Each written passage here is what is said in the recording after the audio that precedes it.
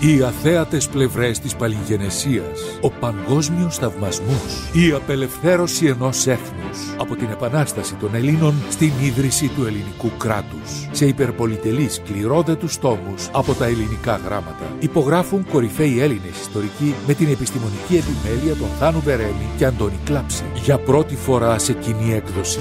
Σπάνιες φωτογραφίες από τα μεγαλύτερα μουσεία του κόσμου. Δοκουμέντα από διπλωματικά αρχεία, μαρτυρίες περί ηγητών. Ο πρώτος τόμος, εκτάκτος αυτή την Παρασκευή, με τα παραπολιτικά.